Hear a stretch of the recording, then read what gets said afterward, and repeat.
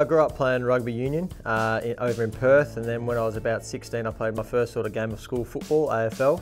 When I sort of started to chase the AFL dream, yeah definitely I put all my eggs in one basket. To be able to get picked up on uh, in November by Carlton was a, you know, a massive shock to the system.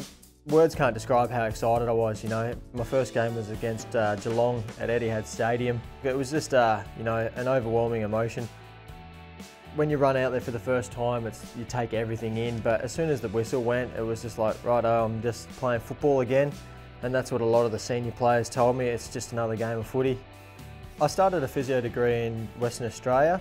Chasing the football goal was my priority, so I put that on the, the back burner and uh, chased AFL. And finally, when I got into AFL or football, I thought, well, what am I going to do after this?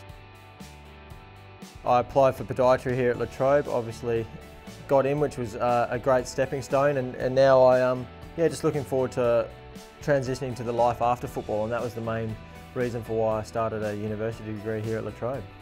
The main reason for why I chose La Trobe was the elite sports program.